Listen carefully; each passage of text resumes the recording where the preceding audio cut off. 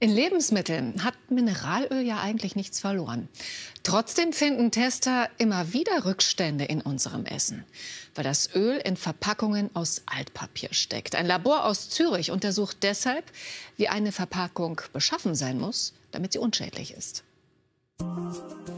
Eigentlich sollten Verpackungen Lebensmittel vor Verunreinigungen schützen.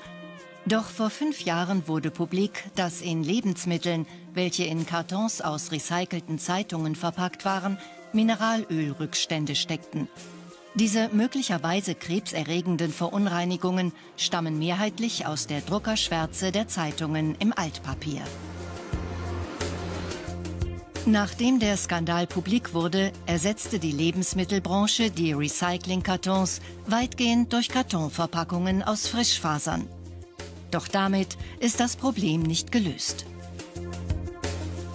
Denn um Frischfaserkartons herzustellen, braucht man viel Holz, Wasser und Energie. Aus ökologischen Gründen sind Recyclingkartons also nach wie vor erwünscht. Die Industrie sucht deshalb nach effektiven zusätzlichen Barrieren. So werden Beschichtungen entwickelt, die auf der Innenseite der Kartons aufgetragen werden.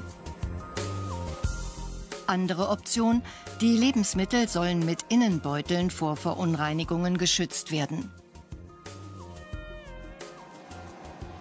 Im kantonalen Labor Zürich.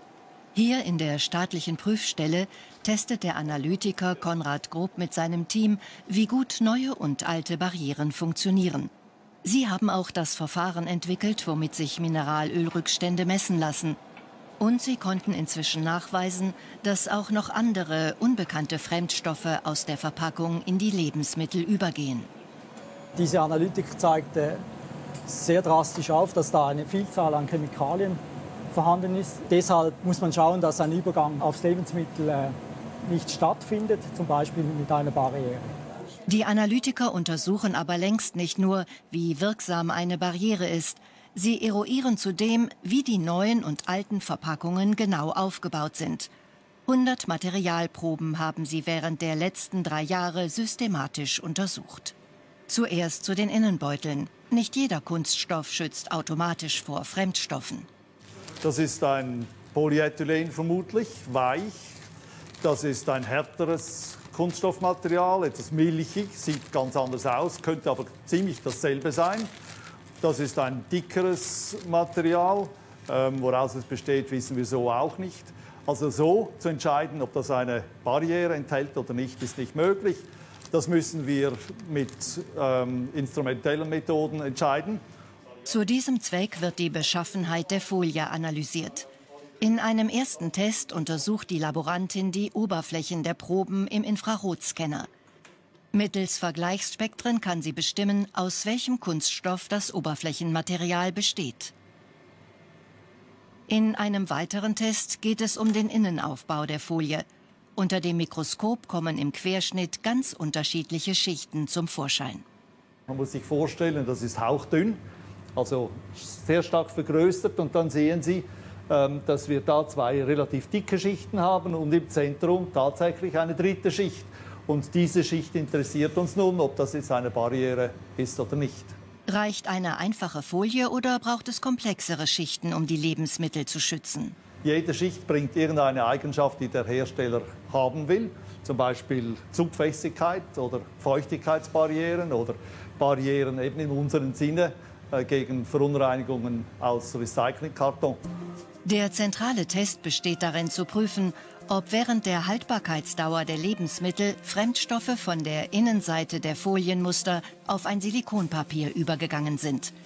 Die Analysen dienen mitunter dazu, Guidelines für die Industrie zu generieren, um sichere und ökologische Lebensmittelverpackungen kostengünstig zu produzieren.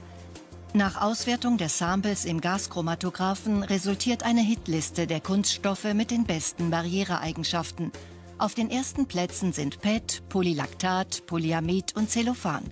Diese können Lebensmittel bis zu drei Jahre vor dem Eindringen von Fremdstoffen schützen. Die Nachteile sind zusätzliches Verpackungsmaterial und mehr Abfall. Die Alternative dazu könnte beschichteter Recyclingkarton sein.